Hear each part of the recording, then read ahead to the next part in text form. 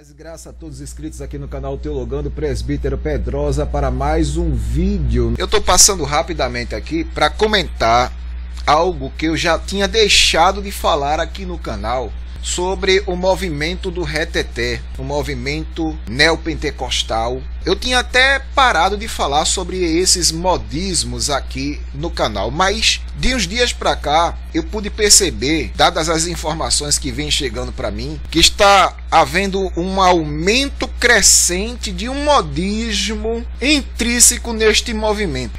Eu, é impressionante como as pessoas absorvem coisas que não estão nas escrituras, minha gente. E agora está existindo um movimento intitulado As Lives proféticas. Eu estava vasculhando meu Facebook, dando uma olhada nele, e de repente eu me deparo com alguém fazendo uma live profética ao vivo no meu Facebook. Meu Deus do céu, aí eu fico perguntando o porquê disso aí, para que isso aí se a gente tem templo? Se temos um lugar para nos reunir, eu tenho observado que este movimento tem causado um transtorno terrível dentro das igrejas e principalmente as neopentecostais. E gostaria de compartilhar aquilo que eu estou falando, eu gosto de compartilhar. Então vamos dar uma olhada neste vídeo aqui.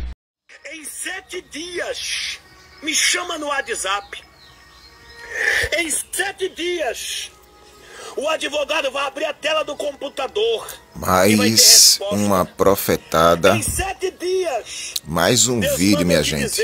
Desse movimento das lives. das adivinhações. Mais outro modismo que está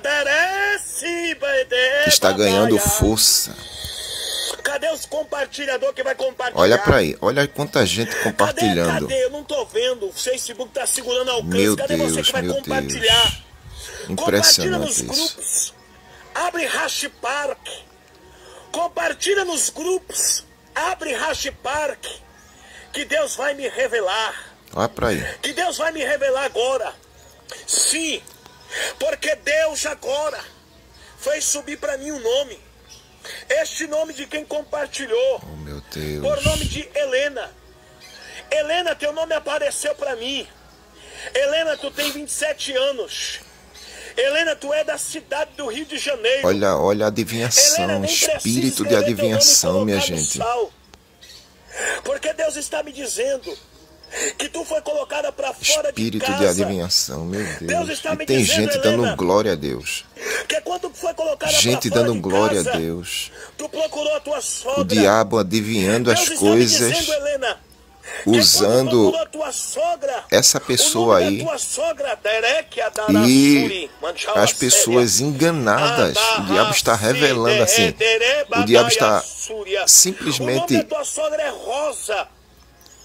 Meu Deus, tá rindo. É e as pessoas estão sendo enganadas. É quando procurou a tua sogra, ela disse: Cadê o teu Deus? Que Deus possa ela nos guardar da tua cara. em Cristo Jesus. Ela zombou da tua vida. Ela zombou da tua fé. Mas para tu saber que eu sou profeta, minha filha, olha o que, que Deus está mandando eu fazer. É ao vivo.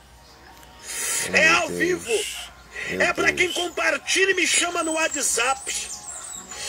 Oi, Derek Adarasúria.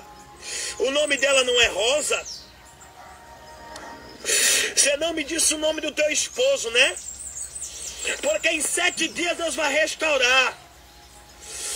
Sabe qual é o nome do teu esposo? Badakanderek Ederesúria.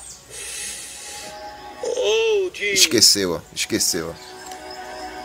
Gaguejou, esqueceu, É tropeçou. Antônio Paulo Siqueira. Opa aí. Tá chorando, né, minha filha? Tá chorando, né? Olha o que que Deus manda eu fazer agora. Deus Deus. fala que vai se tornar tudo dessa forma, ó. Deus me revela. Meu Se eu fosse você, eu me chamava na quebra da maldição. Ó. Se eu Quebra fosse você, eu, me, eu chamava no zap. Compartilhava pro teu nome subir. Filho E do diabo, WhatsApp filho do quebrar essa diabo, maldição em sete dias. filho do diabo. Olha o que Isso é que acontece. bruxaria. Quando eu Isso é bruxaria, nome Rácia, no sal, Isso é bruxaria. ele vai te procurar. Vou mergulhar nesse que tá maior. Olha aqui, ó. Posso dar tempo. Semeia, oferta com amor. Eu tô só vivo aqui, tô só na misericórdia. Eu tô só vivo aqui, mas eu tô dando glória. Tem alguém que quer dar glória junto comigo aqui agora? Tem alguém que vai dar glória junto comigo? Então vamos lá então. Glória a Deus. Gente, deixa eu explicar. Então, se você deseja participar do propósito, você vai entrar em contato comigo através do WhatsApp. Tem um número aí agora? Eu não estou encontrando o número. O número está fixado aqui embaixo, ó. Você vai clicar aqui nessa unha minha, tá aqui, ó, embaixo, ó. Você clica aí agora, 021 9677 52813. É o nosso contato. Você vai estar entrando em contato para todo o Brasil nessa noite. E através desse WhatsApp você vai entrar em contato conosco e você vai estar participando dessa campanha. Nós estamos com um voto. Esse voto você vai enviar uma oferta missionária no valor de 33 reais e você vai estar semeando na obra missionária. E eu quero ser profeta de Deus na tua vida, louvado seja Deus. Então não deixa de participar, não deixa de ser um ofertante. Pastor, eu quero ser um dizimista fiel na minha empresa. A minha empresa está falida. Eu tô aqui só na misericórdia nessa live. A minha, na minha casa só tem água na geladeira. Mas eu quero fazer esse voto. Eu vou estar orando e Deus vai prover na tua casa. Oh, glória. Pastor, meu esposo saiu de casa. Eu quero fazer esse voto em favor da vida dele, porque eu quero ele de volta. Eu sei que esse homem é meu. Eu quero ele de volta. Vamos, vem. Já chama no zap aqui, gente. Chama no zap, tá fácil. É só entrar em contato conosco. 021 9677 52813. Abraço para Zenaide Simões. Depois vou ligar para ela. Eu sou na misericórdia ainda, mas Deus é fiel na nossa vida em nome de Jesus. Então, se você deseja, se você quer ser um contribuinte para a obra do Senhor, eu vou passar aqui embaixo o nosso contato, nosso WhatsApp. Deixa eu só passar aqui nos comentários mais uma vez. Tá? Já tá aqui embaixo, ó. Já tá aí nos comentários o telefone para contato e você vai entrar conosco. Faça esse desafio com você. Você que já buscou várias portas, Delébrias, Terra, Calabaio. Você que já buscou várias portas, já bateu em uma porta, já bateu em outra, já... você já fez de tudo. Até pro terreiro de Macumba você foi, porque Deus está me revelando aqui. Você já gastou até no centro espírita. Ô oh, glória! Ô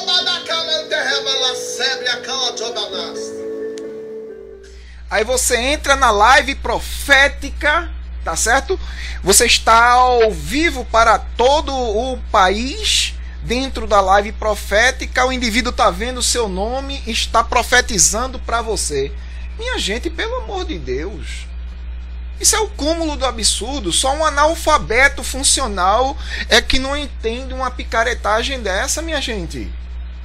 É impressionante como tem gente que absorve essas coisas aí. Vamos mais, irmãos. Olha, eu já participei deste movimento e sei como é, sei como funciona as mecânicas dentro deste movimento, irmão.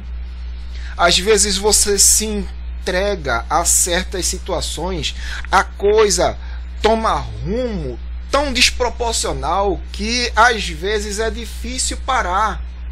Tá entendendo? Você entra num caminho de profecias, profetadas, revelações e adivinhações que fica difícil voltar atrás.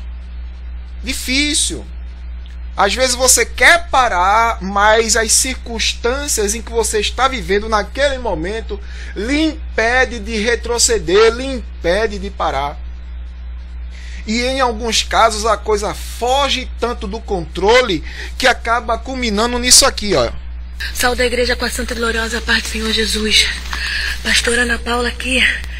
Eu tô aqui me escondendo, irmãos, porque o inimigo está atrás de mim. Ele está querendo me matar. Ele falou que ele me matando. Oh, aleluia. Ele vai destruir toda a minha família. E eu que estou aqui escondida. Louvado seja o nome do Senhor. E não tem ninguém para poder me ajudar. Eu me encontro sozinha nessa situação. Oh, meu Deus, aleluia. Oh, Senhor, meu Deus. Na hora que a gente mais precisa, não tem ninguém para poder nos ajudar. E a gente se encontra sozinha, se escondendo do inimigo. Parece, aleluia, que nós estamos só. Irmãos, é, me desculpe aqui, mas eu tenho uma leve impressão que essa mulher está tendo um surto psicótico, irmãos.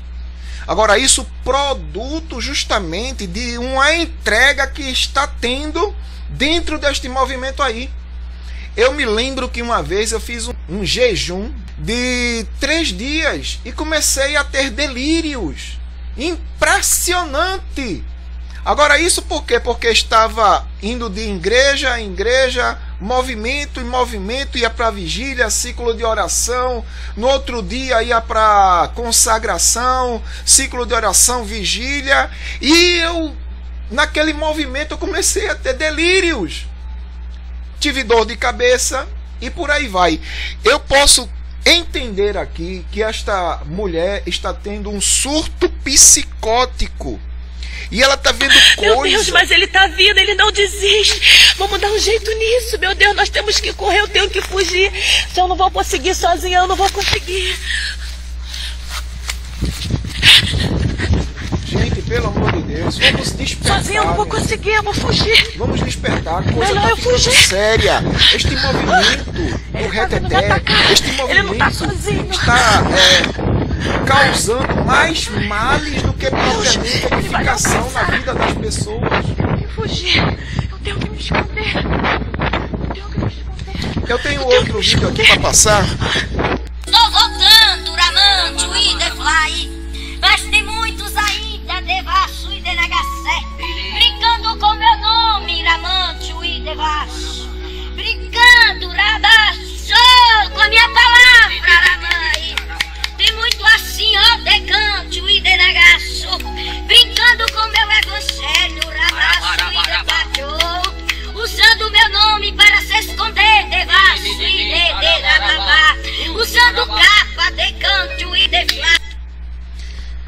É, eu sou de um movimento pentecostal, irmão. Sou da Assembleia de Deus. E desde que eu me entendo de gente, é que eu escuto esta profecia sendo profetizada na igreja.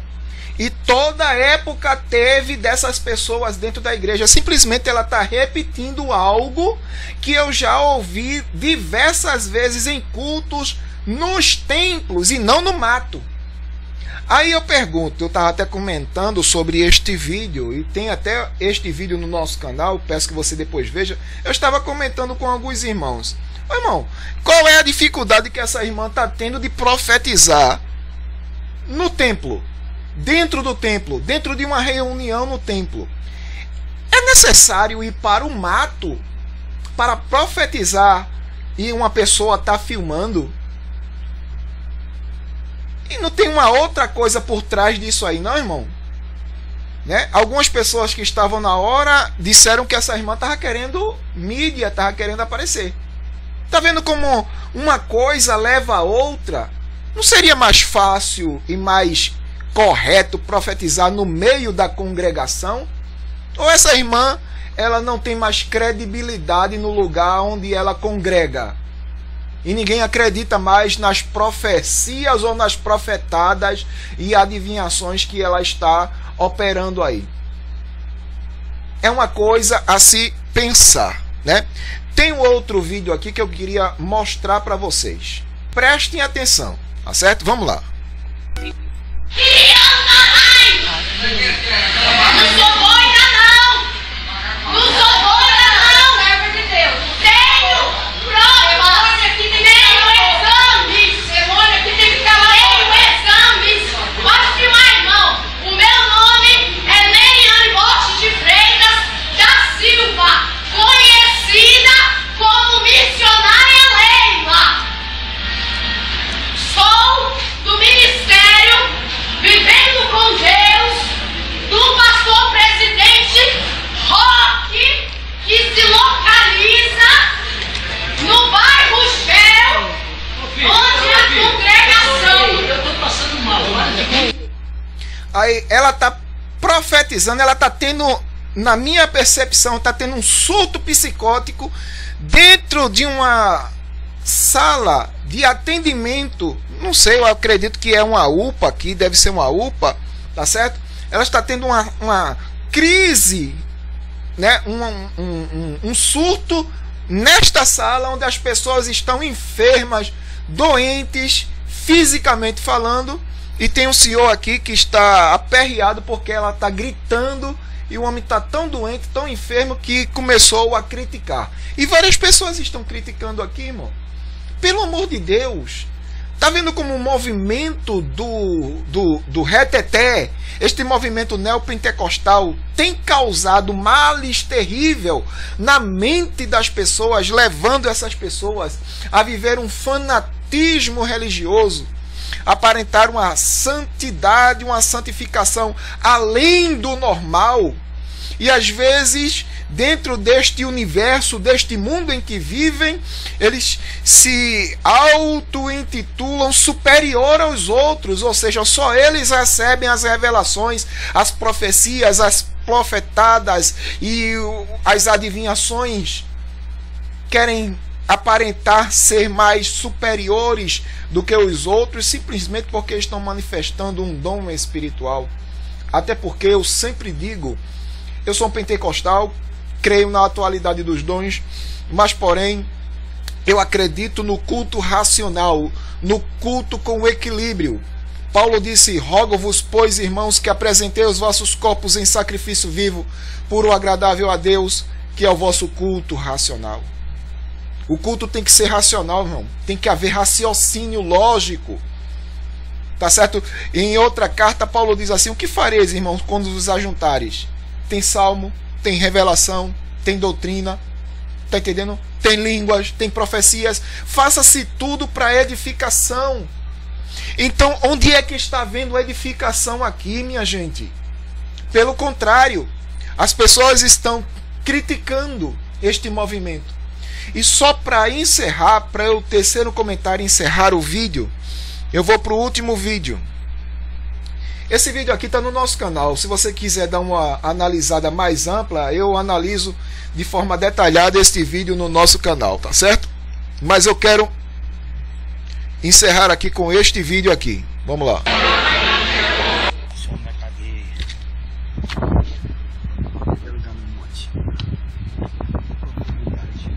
É muito forte isso, ó. Foi arrebatado. Eu vou deixar ele passar. Ele fica morto. Não fica morto não, gente. É arrebatado. Mesmo assim, né, Dorival? Arrebatado. Tá arrebatado, irmão. Tá arrebatado. De manchar macumba aí, ó. Ah, é. Tá fazendo, tá desfazendo o serviço de macumba.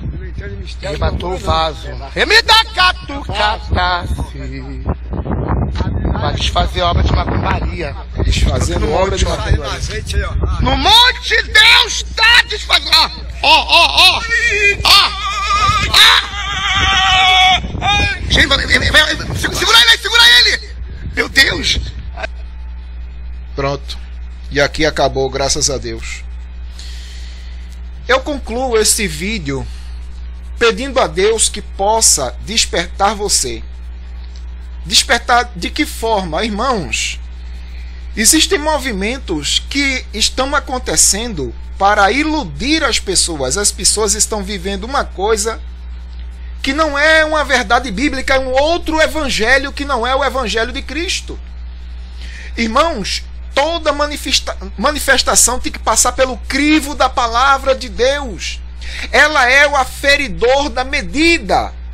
Por ela a gente vai identificar através do discernimento se aquele movimento, se aquela manifestação, ela provém de Deus. Se ela se é uma manifestação de cunho racional, certo que toda manifestação espiritual, ela tem que ser é, discernida pelo Espírito. Quem tem um Espírito discerne tudo e por ninguém é discernido. Nisto eu acredito, nisto eu creio, nisto eu prego. Porém, irmãos, nós devemos perceber se tais manifestações estão vindo da parte de Deus. Porque o apóstolo aos Hebreus fala que há muitas vozes no mundo, há muitos espíritos operando. E muitas vezes as manifestações elas são divinas, humanas e diabólicas. Então temos que saber identificar de que lado estas manifestações estão vindo. Se estão vindo do alto, do Pai das Luzes, se é uma manifestação puramente humana, um modismo humano, uma invenção humana.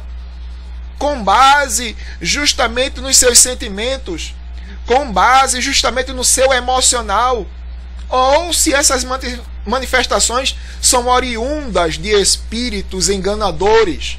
Porque o apóstolo São Paulo diz que nos últimos dias muitos seriam enganados por espíritos enganadores, doutrinas de demônios que vêm para confundir a mente das pessoas mas, para, mas que Deus em Cristo possa estar nos ajudando pela Sua palavra, através do Espírito Santo, a termos discernimento espiritual dessas manifestações. Amém?